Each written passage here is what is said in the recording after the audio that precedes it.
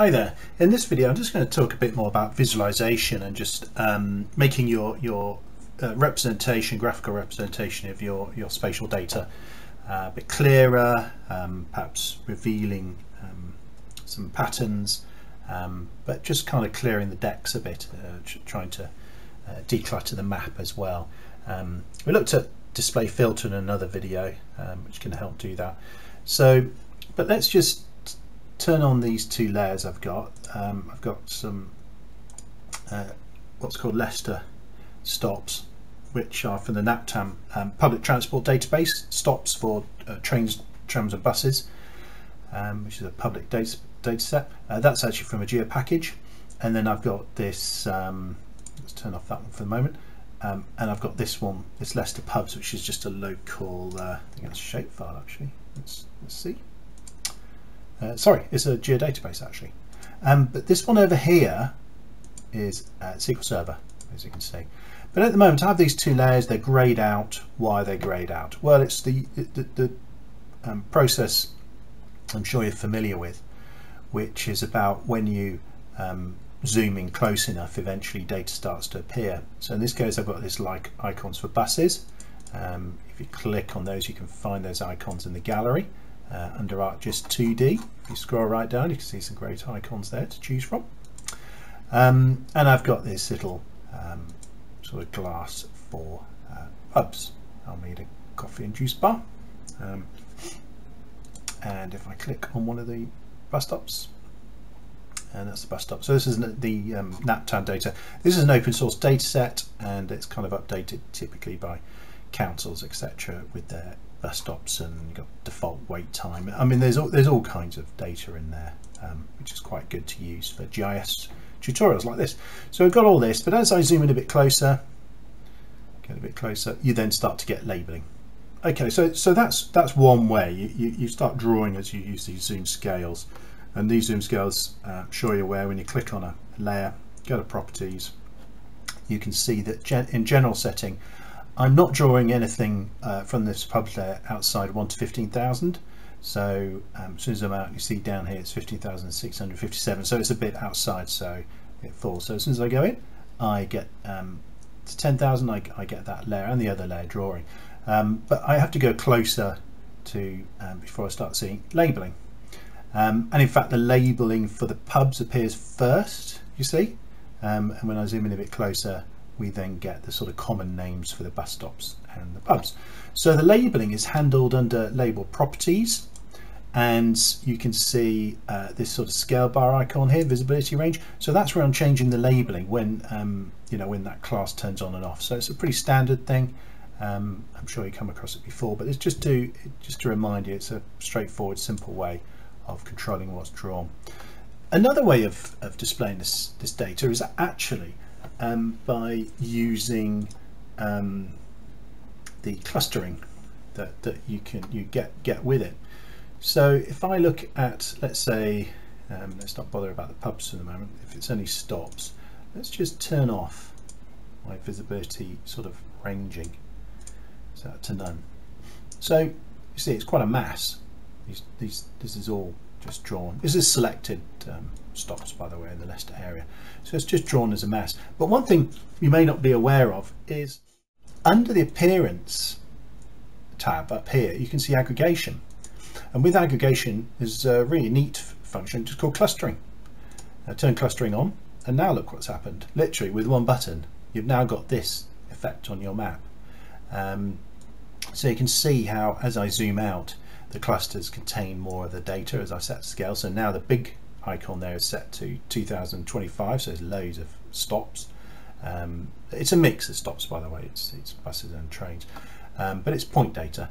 And as I zoom in you'll see it all break up and eventually um, uh, go in uh, turn into the single um, entities the single points. So you can see this um, Haymarket Centre here. There's 22 there 26 up there because that's there's a lot of bus station stuff around there and certainly as we zoom into let's say here you can see them marked Haymarket Centre these these bus stops and let's go in further and there's lots of them so clustering great way to um, simplify your your drawing, see your sort of aggregation stuff. Um, you know where, where, where everything is um, like a hotspot. So another method of, um, of aggregating your data. Uh, is called feature binning. Now, feature binning is this sort of you can create hex hexagons with a, with a value um, for each one and, and, and, as it zooms out and zooms in it can um, recalculate. But the, the, the point is you can't just do the, use this binning approach for aggregating um, point features into dynamic polygons uh, on any data set it has to actually be a proper database a relational database so if I was to click on this now it'll say unsupported because this is just this is just a um, uh, this is just a geo package and doesn't support binning.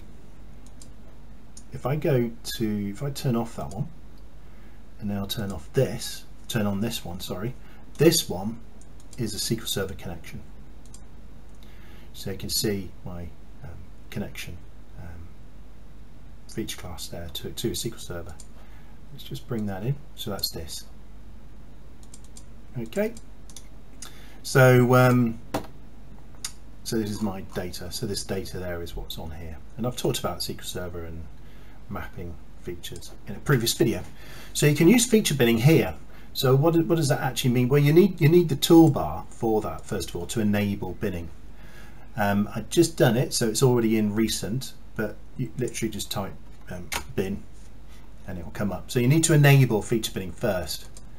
Um, enable it on your RDBS um, relational data um, geodatabase, your proper data, uh, enterprise database. So that's DBO pubs. Uh, you can define the kind of object. So I'm just going to use standard flat hexagon. Again, play around with that uh, as, as, you wish. Set the coordinate system. Now I haven't really got any um, stats in this in these pubs um, not much anyway um, it's just sort of location and name so but the idea is with binning is you do have a vast amount of data that's really what feature binning's for uh, clustering is fine it's great works very easily etc binning a bit more complex as you'll see but you really you know should be having um, some statistics statistical data um, for each of the polygons dynamically created.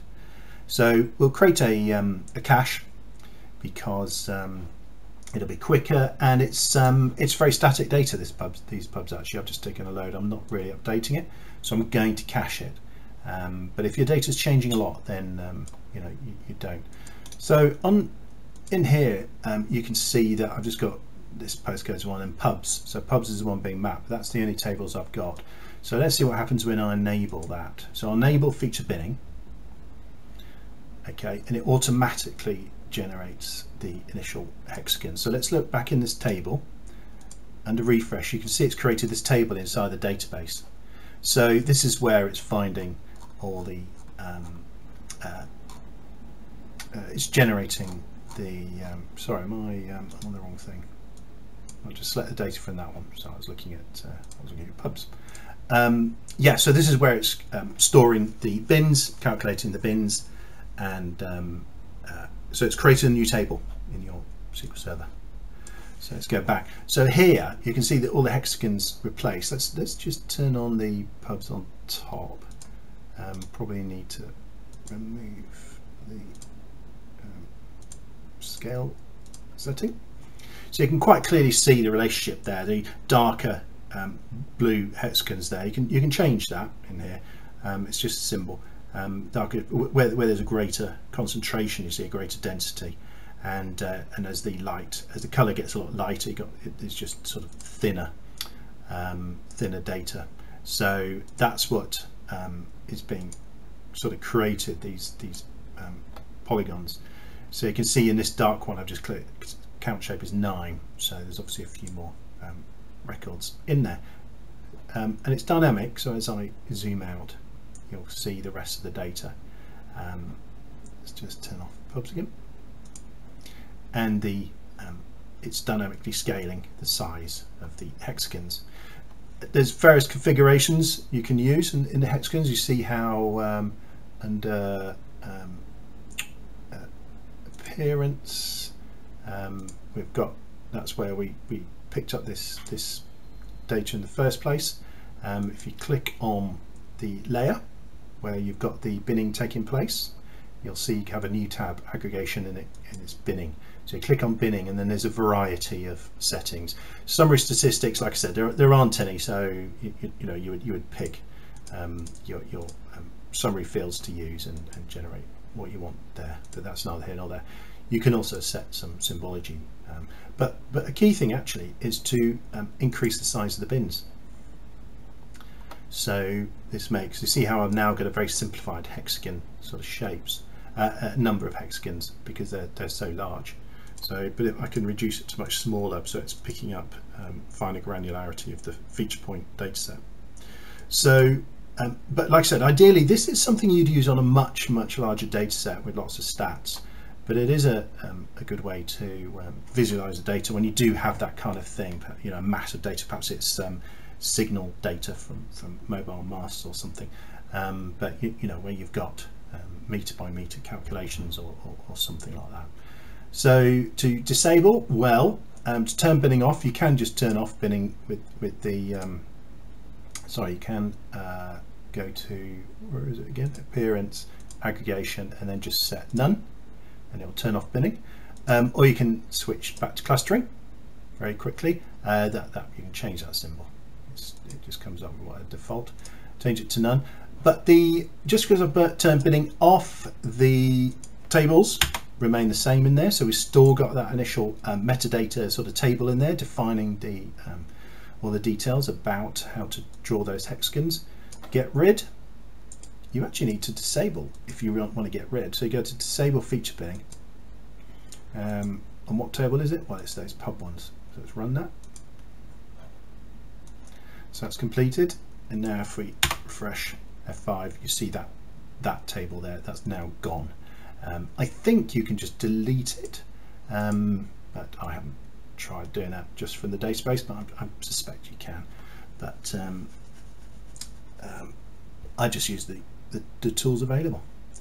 Anyway, I hope you find that useful. Few ways to um, just show your point data, um, you know, in different visualizations, and yeah, I hope you find that useful. Thanks very much.